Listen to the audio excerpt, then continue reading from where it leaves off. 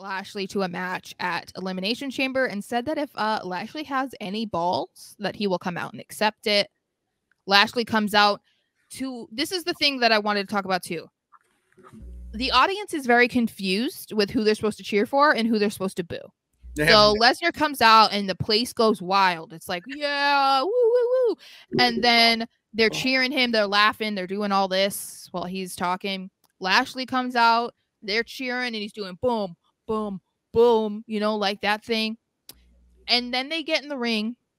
You know, Lashley talks some smack and says, I'm going to have my people look at this contract and my people will get in touch with your people. Gets in his face. Lash or Lesnar gives him an F5 the whole place goes wild and then they start chanting one more time so that's what, exactly what lesnar does and i'm like i'm so confused like i don't know who's supposed to be who exactly um and i think part of that is because that's just how the two have been recently they're kind of like teetering between both and i think it, it's almost like dependent on who they're facing Oh yeah, it's it's a great time right now. The fact that you can cheer for both of these guys because they're just behemoths. You just want an absolute, you know, car crash when these two guys get in the ring, and they already have the incredible background of you know their their actual fighting careers, and then you put them in the ring. I was thinking about this during the during the segment that they could really like if now the Triple H is in charge and is really just like listen whatever you know gets viewers they could put on a pretty brutal and by brutal I mean physical match that goes some time has a little bit of storytelling in it and has a good payoff because they don't have the that Vince looming Mhm. over them saying, "Oh, you're the big guy. It's just four or five minutes and then get out of there." It's like, why? Brock Lesnar used to go twenty. Yeah. he used to go twenty five. You went fucking sixty in an Iron Man match on SmackDown one time. You know, like yeah this man is range. Let him use it.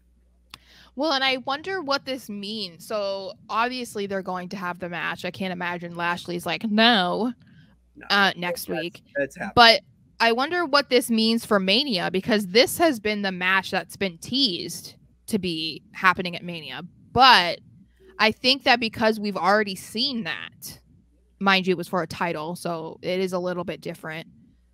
I'm wondering if if they still want that match to be at Mania.